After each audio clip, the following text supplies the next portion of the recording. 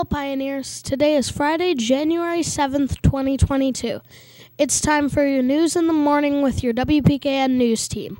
I'm Spencer Strong with today's news. But first, let's all stand and join Colton Jackson for the Pledge of Allegiance. Colton? Good morning, Pioneers. Please stand for the pledge. I pledge allegiance to the flag of the United States of America and to the republic for which it stands, one nation, under God, indivisible, with liberty and justice for all. Thank you. You may be seated. Now back to our anchor. Awesome job, Colton. Now let's check in with Fernando in the WPKN Weather Center for a look at today's forecast. Fernando? Good morning, Pioneers. Today's weather will be partly cloudy with a 6% chance of rain. The wind will be blowing out of the north at 10 miles per hour.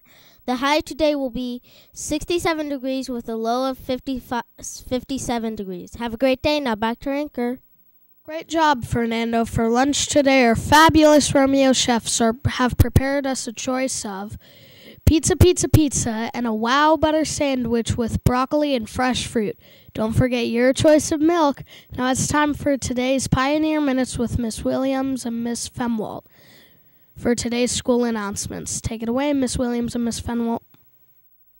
Good morning. Good morning, Miss Finnerwall. Good morning. Good. Boys and girls, we have a new member of our team here at Romeo. This is Miss Finnerwald. She is our new assistant principal. So, boys and girls, we are going to show her the Romeo way. We're going to show her our expectations of being responsible, respectful, being safe, and being leaders. And remember, our word of the month is respect, and that's treating and talking to people in a way that makes them feel worthy and important. So, boys and girls, when you see Miss Finnerwald today, give her that quiet wave if you're in line.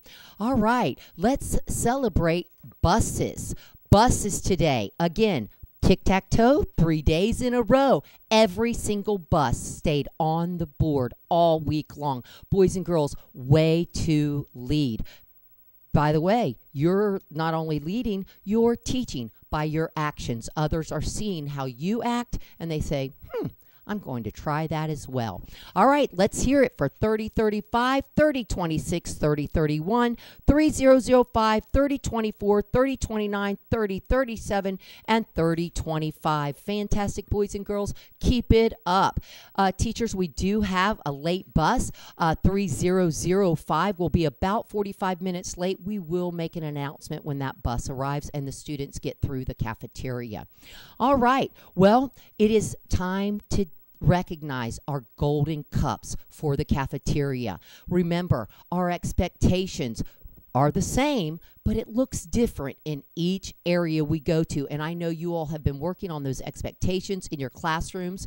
And I want to come into the cafeteria today and see how well you are doing. But, boys and girls, for this week, Listen to this brand new semester. We had three classes earning golden cups this week. Congratulations to Miss Tripp's classroom, Miss Stewart's classroom, and Miss Witten Lavery's uh, classroom. Congratulations, boys and girls. Way to lead the way.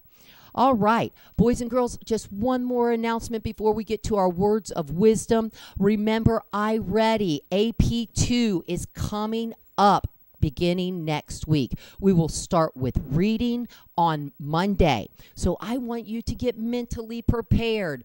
You start thinking, how what do I need to do to do my very best on that assessment so that when you get on your path, it's right where you need to go and you can move on and beyond where you are today. So, boys and girls, I'm going to remind you of our checklist for when you do AP3, uh, 2, and I will remind you again on Monday. Remember, do not rush. This is important. You are important. Do your best. Number two was try my best. Absolutely. Reread the passages. Sometimes something doesn't make sense and I have to throw on the brakes. Wait, what did I just read? What did that author just try to tell me? I'm going to go back and reread. If something doesn't make sense as I'm reading it, I'm going to stop and I'm going to reread so that it does make sense. the fourth one, I'm getting ahead of myself mm-hmm. here. Read carefully. Double check your answers. I went through a classroom yesterday and I heard a third grader say, mm, That makes no sense. Eh, can't be that one. Oh, that sounds like a good answer. Oh, but so does that. What should they do? Think about it. Did you think go back in the text and find your answer? Absolutely right. Double check your answer. Use paper and pencil for math problems. Okay? Check yourself. You have this. It is important. Do your best. All right. Would you like to say anything to these boys and I girls? don't think so. I'm just looking forward to meeting you all. All right. All right. Here's some words of wisdom.